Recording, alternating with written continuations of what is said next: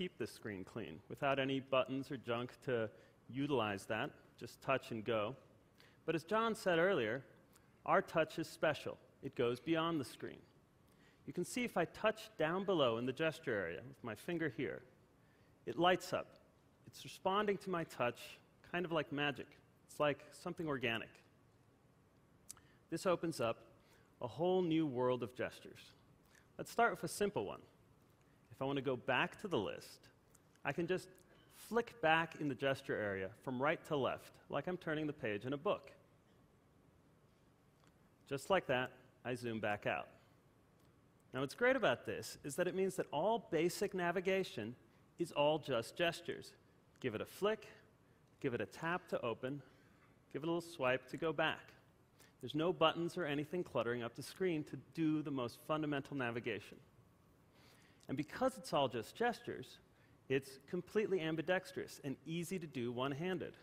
If I'm using my other hand, I can flip through here, tap on who I want, and I can give that little flick in the other side of the gesture area, because gestures are very forgiving about their location. So, let me show you another gesture that we can use. If I want to start something new, I start in the gesture area and swipe up. And my launcher slides up like a sheet of glass right over what I'm doing. And there's the familiar Palm launcher with three columns of gorgeous icons. To look at some photos, I just tap that. And now my Photos application also slides right up. Again, the UI for Photos is very simple, just that direct manipulation I showed you. I want to look at some pictures, I tap on them. I want to scroll through my pictures, I just flick through, find the one I want, tap on that one. Even here, I just flip through stuff to get to what I'm looking for. And then when I'm done, I just give it that flick back, and I'm back where I came from. If I want to start something new, anywhere I am, I just bring up the launcher. I don't have to go to a new place. Don't lose my context. Take a note, just tap the icon, and there we go. Note slides up. Now, this is really simple UI, and the hardware of the device that John showed you is also really simple. But many of you love those four application buttons that you have on your Treo and you had in your original Palm Pilot that give you one action access to everything that matters to you. Well, with WebOS, we still want to give you that power, but we want to keep things simple. So again, we use the gesture area. This is a slightly more advanced gesture. If I start down here and I drag up, bring up this quick launch wave. And you can see, here's those favorite icons.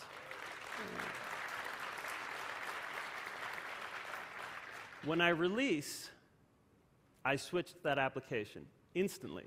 So that was one action. I still have one touch access to everything I want, but everything is kept simple and clean. Now, this is that kind of uh, newness you were hoping to see here today, right? Yeah. Now, we do think this is beautiful, but it's not good enough. Fundamentally, this method of operation, it's the same as the original Palm Pilot. Every time I want to change focus and do something different, I have to bring up that launcher. I have to hunt for the icon. Well, where was, oh, notes, right there. And then switch to that. It's very modal, as Ed said. What we need today is the kind of flexibility we're used to from the desktop computer, where we can really flow between one activity to another. But you can't just shrink a desktop computer. It's not going to work. You need a new metaphor. And so instead of a desktop where you pile up windows like sheets of paper on a broad surface, we imagined a deck of cards that you can shuffle and sort even in one hand. Let me show you what happens when I press the center button.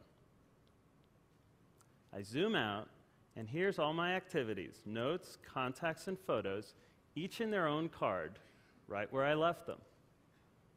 I can go into one of these activities, look at something else, and when I go back out into my card, I can see exactly where I left off. My cards are live completely. And this makes them so much more powerful than favorite icons ever could be, because I can really see what's going on in my workspace. And because it's a workspace, we of course let you organize it.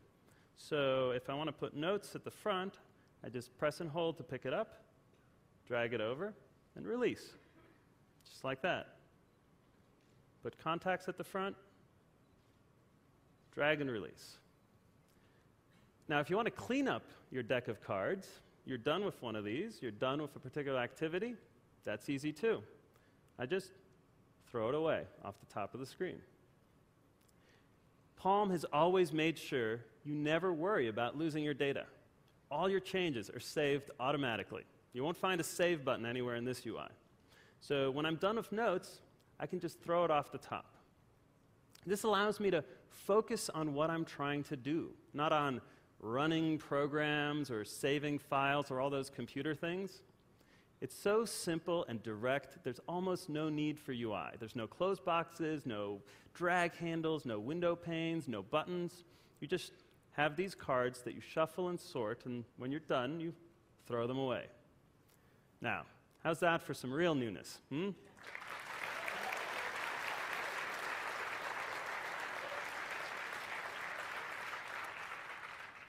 Now, Palm WebOS is more than just about how you flow between activities. It's how those activities are connected to each other and to the web. All of our applications communicate dynamically with the web, bringing info together into one place. And we call this synergy. Let me show you how synergy works by going back to contacts. As Ed said, everybody's got information in multiple places about the people that you care about your Outlook, your Facebook. With Synergy, we've brought all that information into a single place, your contacts list here on your pre, without having to merge or migrate. You just log in once. Now, since you have some of the same people that you know at work and as your friends on Facebook, we have to be smart because you don't want to have duplicates in this list. So you can see this little stack of photos in the upper right corner, right next to Sophia's name. That indicates that her contact is linked from multiple sources. If I tap on Sophia, I can see her card open up, and I can see there's three sources there. I tap on that, there's information from Google, from Outlook, and Facebook. But the best part is I can focus on Sophia the person. I can just look at all her phone numbers here and I don't get duplicate entries for information which is redundant. And more importantly, I don't have to worry about was her home number on Facebook or was it on Google? All the information is brought into one place for your convenience, but the data remains independent as it should.